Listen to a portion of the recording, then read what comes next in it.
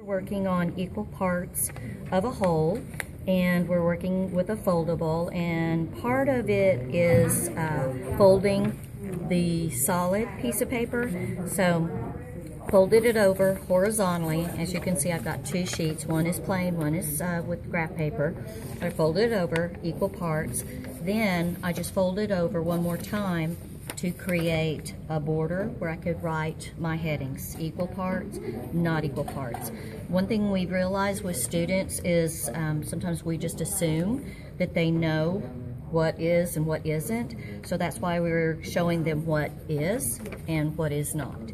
Okay, so your paper would have these little circles on the bottom and the instructions are cut and paste in the correct boxes.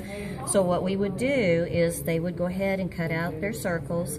We're going to create parts so they will be written on where you can see where if they are equal, if they're not, and then your students are going to take them and just place them. So this little one would be broken into equal parts and it would be fourth, so you would place that in the equal parts section.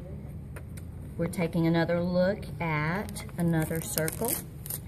Taking a look at that, they're going to examine it, decide whether or not it is equal. They're going to hopefully say it is not, and they're going to place it in the not equal part.